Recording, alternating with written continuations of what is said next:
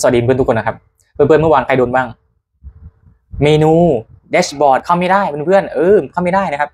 ซึ่งผมเมื่อวานอะผมผมเข้าไปดูช่วงเช้า แล้วผมก็เจอปัญหานะครับ แต่ผมรู้แล้วแหละว่าเครื่องเนี่ยไอ้ที่มันขึ้นแจ้งเตือนเนี่ยผมเคยมีประสบการณ์นะว่าอย่างง่ายมันก็เต็มที่ระบบนะครับแล้วก็ตอนแรกผมว่าจะทำคลิปตั้งแต่เมื่อวานแหละแล้วก็เออไปเห็นในกลุ่มเขาพูดกันเยอะแล้วก็บางคนก็เห็นแล้วก็เลยอะไปทำแล้วกันก็รอก็รอดูสถานการณ์ก่อนว่า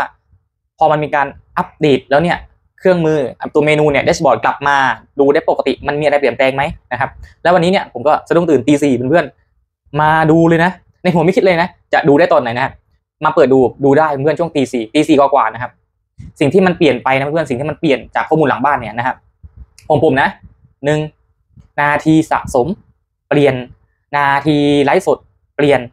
และที่สำคัญยอดเหรียญนะครับ ของโฆษณาในสตรีม เพิ่มขึ้นเพื่อนๆ พิ่มขึ้นเยอะด้วยนะฮะเพิ่มขึ้นเยอะด้วยนะครับผมก็เลยงงว่าเฮ้ยเกิดอะไรขึ้นครับเนี่ยแล้วก็เมื่อวานเนี่ย ตัวยอดเงินมันมีการเปลี่ยนช่วงช่วงเช้านะแต่ปกติมันจะเปลี่ยนช่วงบ่ายสองตรง แล้วก็มาวันนี้วันนี้ตอนเช้าเลยตีสี่ยอดเงินเพิ่มขึ้น ผมก็เลยไม่แน่ใจว่าเฮ้ยมันเกิด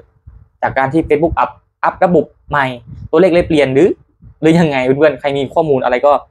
พิมพ์บอกกันด้วยนะฮะเออนะฮะก็ช่วงนี้เนี่ยผมอยากบอกเพื่อนว่า ช่วงนี้เนี่ยเรื่องระบบอะไรมันอาจจะยังไม่ลงตัวนะเพื่อนๆนะครับ แล้วก็ใครที่เจออะไรที่มันแปลกๆเมนูเข้าไม่ได้เพื่อนๆอย่าเพิ่งไปลบคลิป เพราะมันมีครั้ง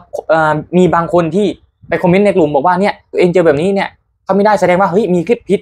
ไปลบคลิปมันไม่ใช่นะเพื่อนนะฮะโอเคนะก็นั่นแหละก็เราก็ลงคลิปต่อไปนะเพื่อนนะโอเคนะสู้ๆนะครับทุกคนสู้ๆนะครับ สวัสดีนะครับ